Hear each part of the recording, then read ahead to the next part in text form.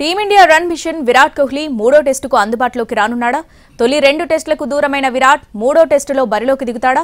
BCCI అనుమతితోనే ఇంగ్లాండ్తో టెస్టుల నుంచి విరామం తీసుకున్నారా అన్నది ఆసక్తి రేపుతుంది team India star batter Virat Kohli మూడో టెస్టులో అందుబాటులోకి రానున్నాడు. వ్యక్తిగత కారణాలతో తొలి రెండు టెస్టులకు అందుబాటులో లేని స్టార్ బ్యాటర్ విరాట్ కోహ్లీ మిగతా మ్యాచ్లకు ఆడేది అనుమానమేనని ప్రచారం జరిగింది.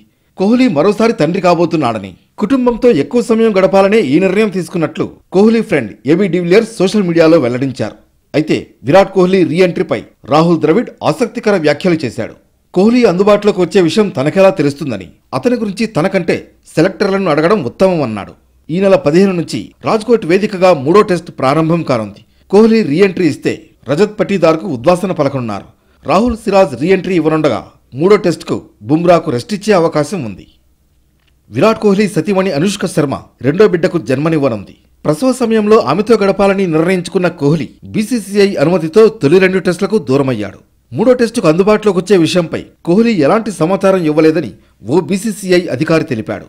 తొలి రెండు టెస్టులు మాత్రమే ఆడనని సమాచారం ఇచ్చాడని అతను ఏం చెప్పలేదంటే సెలక్షన్కు అందుబాటులో ఉన్నట్లేనని వెల్లడించాడు. చివరి మూడు టెస్టులకు సంబంధించిన జట్టును అజిత్ అగార్కర్ సారథ్యంలోని సెలక్షన్ కమిటీ మంగళవారం ప్రకటించే అవకాశం ఉందని బోర్డు వర్గాలు తెలిపాయి.